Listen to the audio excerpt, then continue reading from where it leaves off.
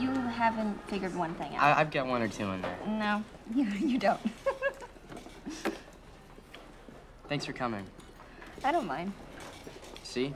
You like hanging out with me. Of course I like hanging out with you. Really? Yeah.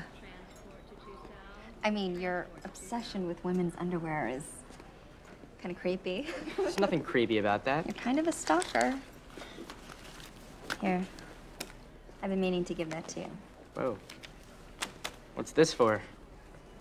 You don't have to pay me to be your friend. I want to be. Thanks. Yeah, I'd like to be your friend, too.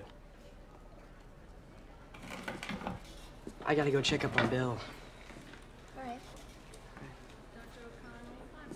Whoa, whoa.